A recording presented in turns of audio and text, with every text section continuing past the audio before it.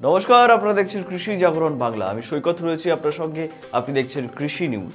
কৃষি নিউজে আজকে দেখব দেশ দুনিয়ার সব থেকে বড় খবর।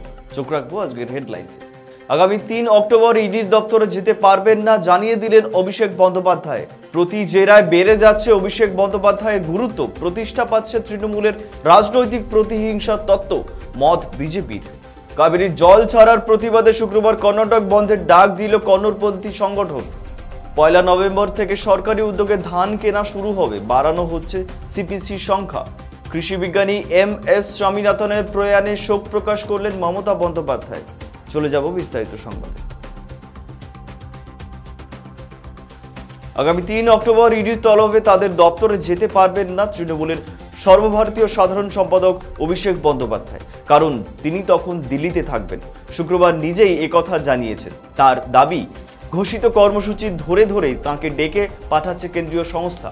শুক্রবার এ নিয়ে সমাজ মাধ্যমে একটি বিস্তারিত বিবৃতি দিয়েছেন অভিষেক বন্দ্যোপাধ্যায়। সেই পোস্টের শেষাংশে ইংরেজিতে তিনি লেখেন stop me if you can যতবার তৃণমূলের ঘোষিত কর্মসূচি, ততবারই কেন্দ্রীয় তদন্তকারী সংস্থার তলব অভিষেক বন্দ্যোপাধ্যায়কে। প্রতিবার দীর্ঘ এবং টানা জেরা। তারপর বেরিয়ে এসে তৃণমূলের সেনাপতির কড়া ভাষায় কেন্দ্রীয় সরকার এবং কেন্দ্রীয় তদন্তকারী সংস্থাকে আক্রমণ। গত বেশ কয়েক মাস ধরে এটাই রুটিন হয়ে দাঁড়িয়েছে এবং প্রতিটি জেরার পরেই রাজনৈতিক গুরুত্ব বেড়ে যাচ্ছে তৃণমূলের সাংসদ তথা সর্বভারতীয় সাধারণ সম্পাদকের। প্রতিষ্ঠা পাচ্ছে তৃণমূলের রাজনৈতিক প্রতিহিংসা তত্ত্ব। আর তার জেরে বিড়ম্বনায় পড়ছে বিজেপি।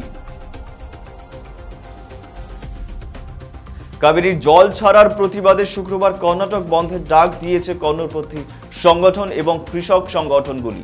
শুক্রবার সকাল ছটা থেকে সন্ধে ছটা পর্যন্ত অচল থাকবে দক্ষিণের এই রাজ্য।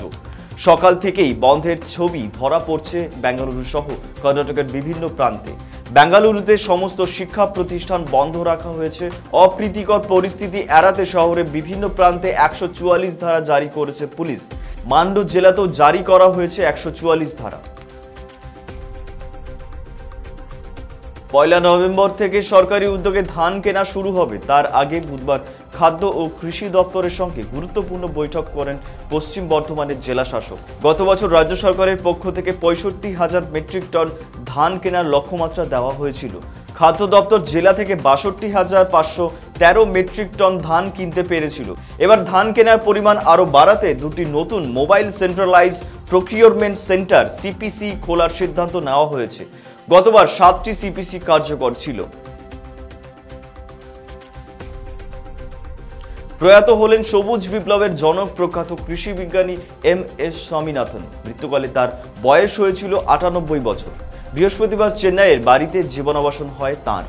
দেশে দুর্ভিক্ষ রোখার জন্য এবং কৃষিক্ষেত্রে দেশকে স্বয়ংসম্পূর্ণ করার লক্ষ্যে ছয়ের দশকের শেষের দিক থেকে ভারত সরকার যে সবুজ বিপ্লবের সূচনা করে, তার মূল উদ্যোক্তা ছিলেন তিনি।